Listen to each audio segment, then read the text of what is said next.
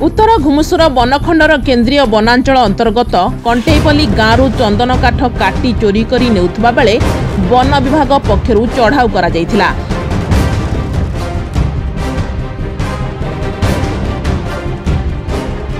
ଏହି ଚଢ଼ାଉ ସମୟରେ ଅଭିଯୁକ୍ତକୁ ଗିରଫ କରି କୋର୍ଟ ଚାଲାଣ କରାଯାଇଛି।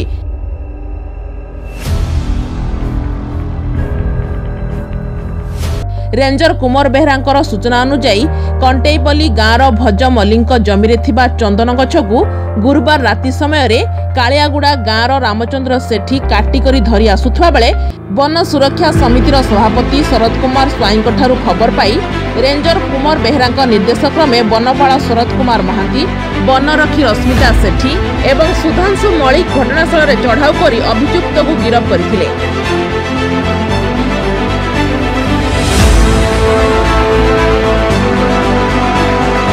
ଦୁଇ ଖଣ୍ଡ କାଠର ଓଜନ ପଚିଶ କେଜି ରହିଥିବା ବେଳେ ଆନୁମାନିକ ମୂଲ୍ୟ ଚାଳିଶ ହଜାର ହେବ ବୋଲି ଜଣାପଡ଼ିଛି।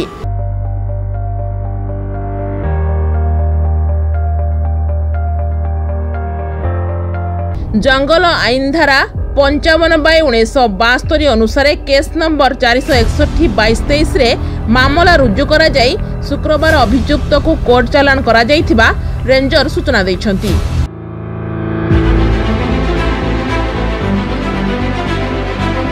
ଭଞ୍ଜନଗରରୁ ନଚିକେତା ପ୍ରଧାନଙ୍କ ରିପୋର୍ଟ ଅତାପ ନ୍ୟୁଜ୍।